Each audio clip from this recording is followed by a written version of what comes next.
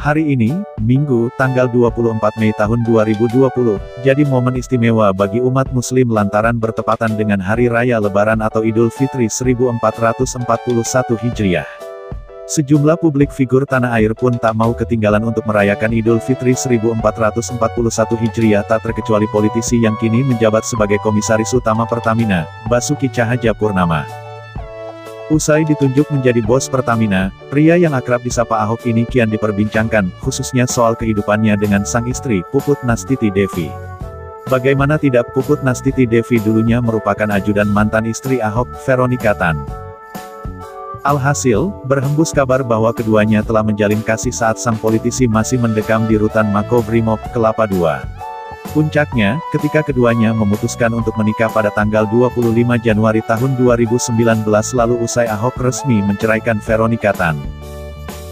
Tak main-main, wanita asal Nganjuk, Jawa Timur tersebut bahkan rela melepas gelarnya sebagai bribda di kepolisian demi mendampingi suami. Meski sempat melewati berbagai pemberitaan yang kurang mengenakan, pernikahan pasangan beda usia 31 tahun ini nyatanya menjalani rumah tangga dengan adem ayem.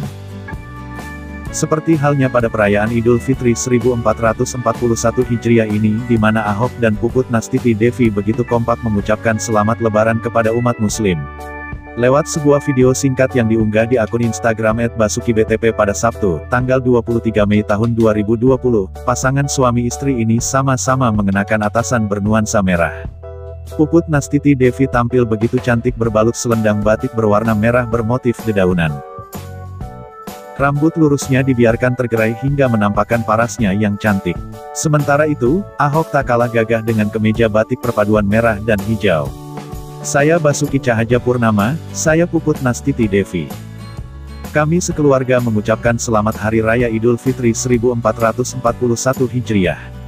Minal Aidin wal Faizin, mohon maaf lahir dan batin, ucap keduanya bersama-sama. Postingan ucapan selamat lebaran dari pasangan Ahok dan Puput Nastiti Devi ini segera saja disambut gembira oleh netizen di Instagram. Hingga tulisan ini dibuat, unggahan tersebut telah ditonton lebih dari 959 ribu kali dan mendapat 2.998 komentar. Tak sedikit yang menyanjung keduanya bagaikan pasangan serasi. Pasangan serasi, tulis netizen bernama akun @nike12 Antonio. Menariknya, ada pula netizen yang menyoroti paras Ahok dan Puput Nastiti Devi yang semakin lama semakin mirip satu sama lain. Pak, lama-lama makin mirip sama Bu Puput Pak. Emang jodoh di tangan Tuhan, tulis Ed Silince Harefa. Wajahnya sekarang hampir sama, Pak Basuki juga jadi kelihatan lebih muda, tambah ganteng aja dan Bu Puput juga cantik juga lembut sekali, tulis Ed Ida garis bawah N.S garis bawah. Bagaimana menurut kalian? Pak Ahok dan Puput Nastiti Devi makin mirip bukan?